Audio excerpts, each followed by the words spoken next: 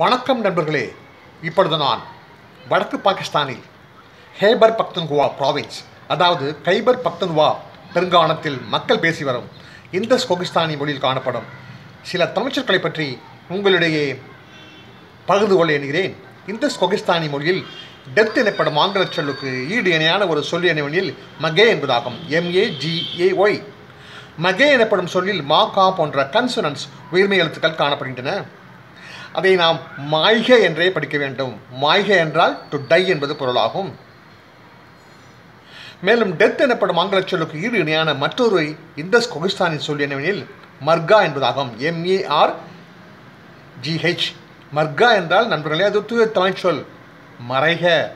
மறைக எனப்படும் ஒரு தூய தமிழ் சொல்லானது எங்கே? மர்கா மா ரா கா என்று வழங்கப்பட்டு வருகிறது.